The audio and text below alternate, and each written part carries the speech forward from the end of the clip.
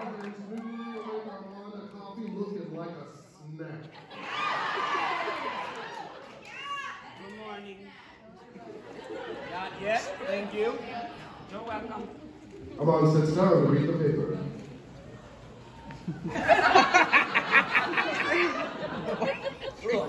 What is this, sludge? Yes, Yes, it's slush. I thought we'd make a nice change from coffee.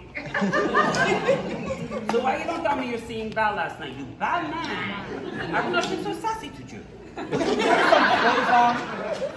No. Armand, why don't you let me be in the show? Think Come Armand. on. Are you afraid of my Guatemalan-ness? What? My Guatemalan-ness. my natural heat. I'm too primitive, right? To be on the stage with your little estrogen rockets.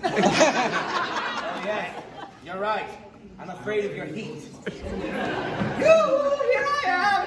Good morning, Agador. Good morning, good morning. Good morning. Good morning, oh good, that, that beer.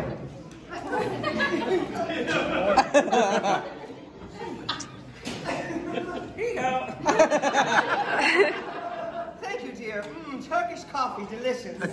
See? Is Val still asleep? He must be exhausted, poor baby. You should have told him it's coming. I'm so ashamed of the way I acted last night, but how could I know? The truth is, you can't stand sharing your son with me. You're always pushing me away.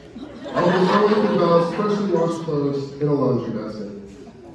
Oh, you look at this shirt, it's a rag. No matter how many shirts I send that boy, he only wears this one. You look awful. Loaded.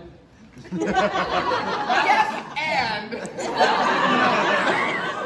Don't be silly. I got a pork roast for dinner. I want to get some filet mignons, but they're so expensive.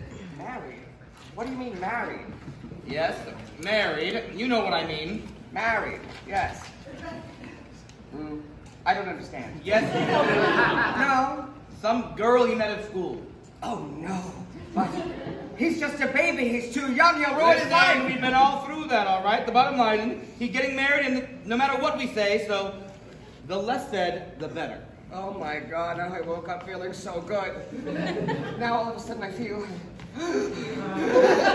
so funny. Just breathe. Let it go, breathe. Val comes out of his bedroom.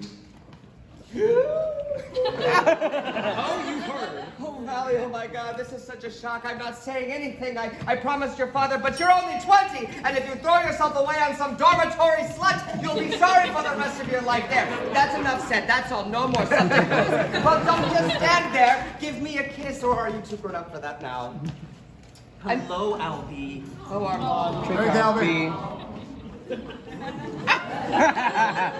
Armand. Our baby's going to leave us. Think Armand. And we won't have any others. Not without a miracle.